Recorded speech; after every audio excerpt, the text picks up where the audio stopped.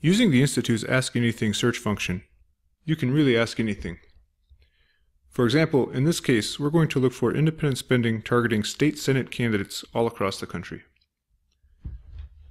Click the Start Here button, and then change the search function from contribution data to independent spending data.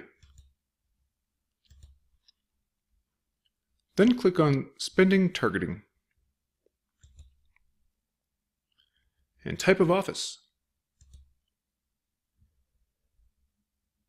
Anytime you see a black arrow in your selection screens, you can expand that and get sub-options.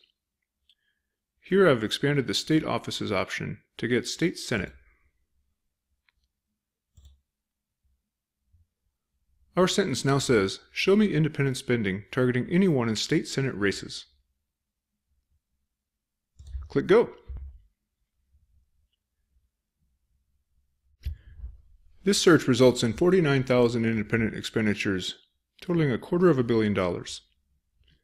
You can dive into this dataset in more detail using any of these checkboxes below.